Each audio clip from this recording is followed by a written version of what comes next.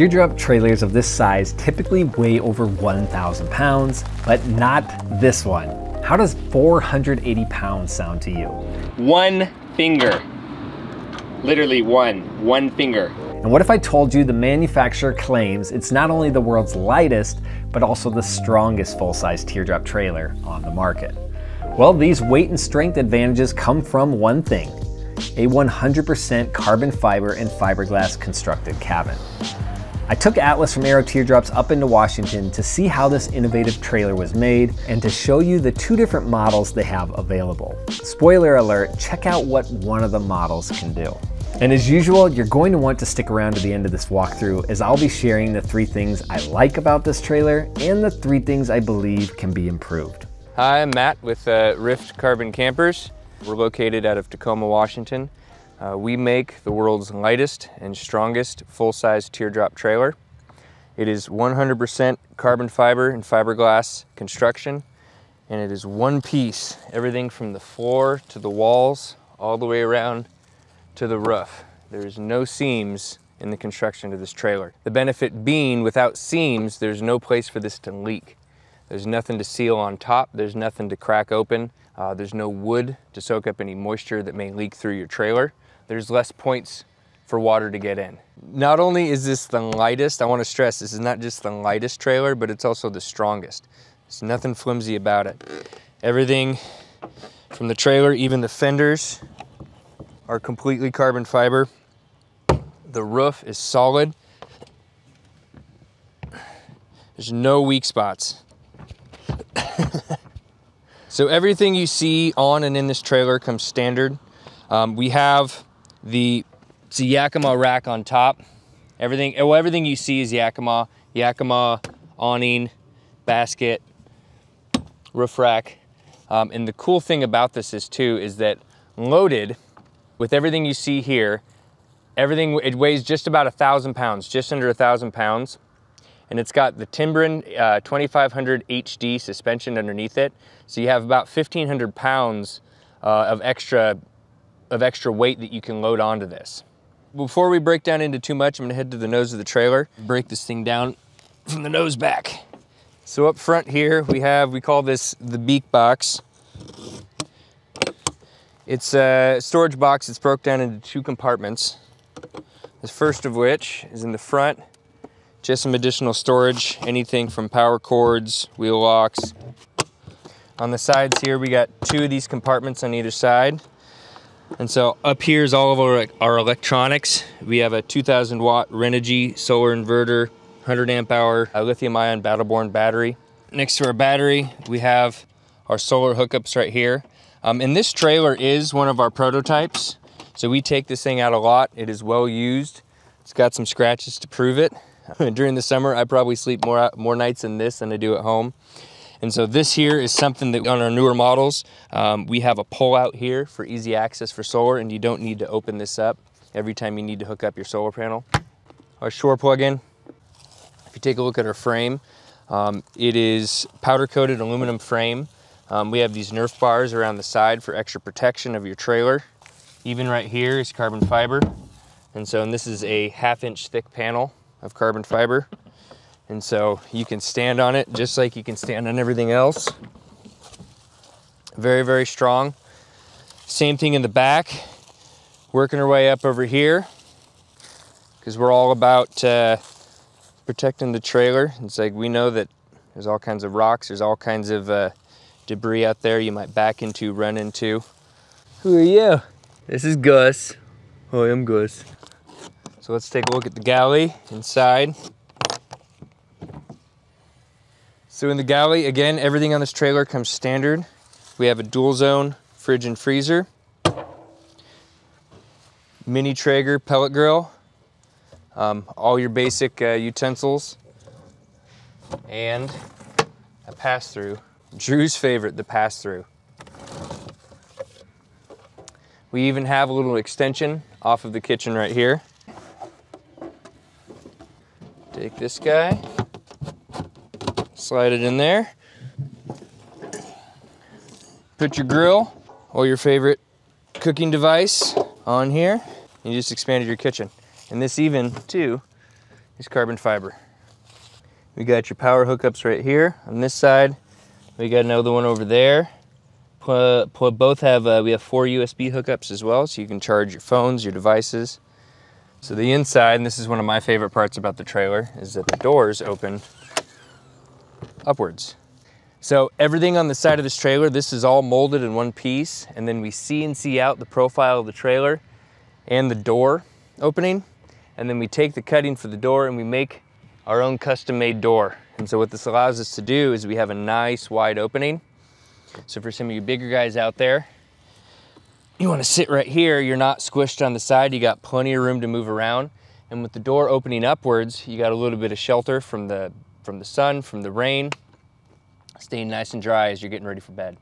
Let's talk about clearance a little bit. So underneath to the bottom of the frame is uh, right around 19 inches. And then at your lowest point here, we got just over 17 inches of clearance. So right here we got the KO2s, which actually match the same tires that I have on my Jeep that I pull it with. So some manufacturers sell an RV size queen bed. This is the same size queen that you have at home. Part of why I love the pass-through is right here. If you cook dinner, if it's a little rainy outside, you got a little table right here for the pass-through. If someone's sitting inside, you can pass some food right here. You even got a little bit of a breeze coming through. And on our new models, we even have a little table that's on a slider right here that will slide out right here, 22 inch deep table. Um, you even have your cubbies right here. And then again, on the newer models, um, we have light fixture up here. And we even have a fantastic fan, which is fantastic. Fantastic fan. Open up your ports right here you press the button and then it sucks all of that air out. You can shut these doors, open up your windows, and it's gonna give you a nice breeze coming through your trailer. So just wanna hit real quick um, on the construction of the sidewalls and the roof and the floor. Um, we have carbon and glass and then carbon and glass with the foam in between there. It does a few things. Um, helps with uh, vibrational, uh, vibration dampening, uh, helps insulate, keeping you nice and cool um, or warm in the winter when it's cold outside. Um, it also helps add additional strength uh, to the trailer by uh, giving a little bit separation between the layers of carbon and glass. Over on the side over here, we have power. Um, you have a couple plugs right there, USB, um, and your Renogy control module right there. This is our smaller trailer. It's not really small size-wise, but it's a lot lighter. This trailer weighs in at about 480 pounds with everything you see here. The unique thing about this trailer is you spend this kind of money for a camping trailer, it's great, but what if you could use it year round? And this trailer allows you to do that because it's set up as a camping trailer, but this wall comes out. This is our unique latching system. we call this our latch flap. Most of these latches we find, even though they say that they're waterproof, they still leak. So we put these on just to give it an added amount of seal. This opens up. And as you can see, we have a kitchen back here. Not a finished kitchen, but one that you can bring all your, your utensils to, your, your two burner oven or stove. It's got two coolers back here, and it comes with a Yeti Goal Zero. This wall comes out. It only weighs about 20 pounds. I'll show you right now how fast it comes apart and how light it is. All of our power on this trailer is on the wall. So when you pull the wall out, everything comes out that's electrical at one time. You have two screws, one here, two out. And then it's got two pegs at the bottom on each side that this sits inside of. So essentially you, you pop it off of that, like that, and you bring the shelf right out, and you have a full utility trailer. You pull the mattress out, and you can get eight foot of stuff in here. What's your ceiling height in here? Uh, from floor to the top of the ceiling is, God, I'm not even sure to tell you the truth, probably about four eight or so. I'm guessing that's four and a half. And both of these, in these beds and both of these trailers fold up into a uh, couch. Before I share the three concerns I have about this trailer, let's talk about the three things I really like. Number one, let's just get the obvious things quickly out of the way. I love the lightweight, the use of carbon fiber to make the trailer stronger and impervious to water. Just to give you guys another example of how solid these things are built, when you shut the door, it's got a nice hard shut, just like a car door. And I love the removable kitchen galley wall. Having a dual use trailer to me, it's hard to put a price on it. Number two, I like that this trailer isn't just coming from some hobbyist garage. Chris and his son Matthew bring decades of composite expertise into this design. Uh, we don't come from the RV and trailer industry, we actually come from the sporting good industry. I've started working in the water ski industry when I was 19, 20 years old. Then we started our own wakeboard company, which was the first wakeboard company, WakeTech. And through the years, we built many products. Uh, you can see some of them right here. The Rift brand of snowboards, skateboards. We built wind turbine blades. We built F1 parts for race cars. We've been in this industry for many years. Matthew started molding wakeboards with us at WakeTech uh, when he was 11 years old. So why did you do this? Why did you move into composite trailers? One of the biggest problems that they have in the trailer industry is that when they sell somebody a trailer, they have to usually upsize, upsize their car or their truck or sell them another vehicle. And number three, before I bounce into the things I would improve, I love the simplicity of this design. Because it's made from carbon fiber, my guess is that there could have been a tendency for the designer to make this trailer more cutting edge. This would be what I often define as people trying to reinvent the teardrop trailer. And in my opinion, this is where some manufacturers fail. Like I say often, there is a reason why the standard teardrop design has been so popular for so many decades, especially the kitchen galley layout. Now for the three things I would improve on this trailer. Number one is the fit and finish. When I visited Rift Carbon campers, I was seeing little details that were not on par with other campers in the industry, especially at this price point. Their choice for accessories and finishes were coming out of what we call on this channel the large RV industry.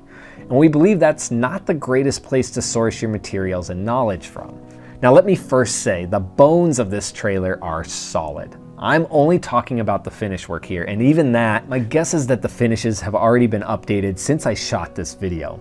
During my time with Chris and Matthew, I pointed these little details out. I also suggested that they take a field trip to other small camper manufacturers in the area to give them a better idea of what we as a community expect from a finished trailer.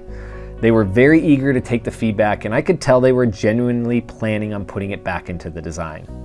Number two, this one's just semantics, but I think it's important. Rift claimed that this trailer is the strongest full-size teardrop on the market. While carbon is incredibly strong, like anything else it has its weaknesses. The main one being that it's susceptible to point stresses or high shock. For typical applications like driving on gravel roads or boondocking in national forests and BLM land, I don't have any concerns with this trailer. I truly believe pound for pound, this is the strongest trailer on the market. However, I just want to clarify that although this trailer is strong, most overlanders would not consider this an off-road trailer. There are other composite trailers built more towards handling daily off-road use, but those trailers do come with the trade-off of being 1500 pounds or more. Although this is the dislike section of the video, I must admit what they built here is what I personally would prefer over an off-road trailer. Most of us don't need an off-road trailer. We need a trailer that can do it all. Pavement, gravel, and the occasional off-road use. And that is what they built here. And so that brings me to number three. I really couldn't think of a third issue with this trailer, so consider this to be more of unsolicited advice for Rift and their team. Here are the current prices for their two models. The Rift Utility Camper is $29,000 at base, and the larger Rift Adventure Wagon is $39,000 at base. With this company, I see the potential for a third trailer in their lineup, and that would be an off-road trailer. Not only with the right components and overbuilt design would this truly be the strongest trailer on the market, I think it may also be easier to sell because you're now in a market that fetches top dollar. Imagine a Bean or Escapod style trailer built with carbon fiber. For those of you on a tighter budget but wanting a lightweight composite trailer, check out this video on the left, which is the walkthrough of the Road Tow Camper by Campin. And for those of you wanting to know more about composite off-road campers, I'd suggest this video on the right, which is a walkthrough of the Black Bean trailer. As usual, stay safe on the road, and we will see you in the next episode.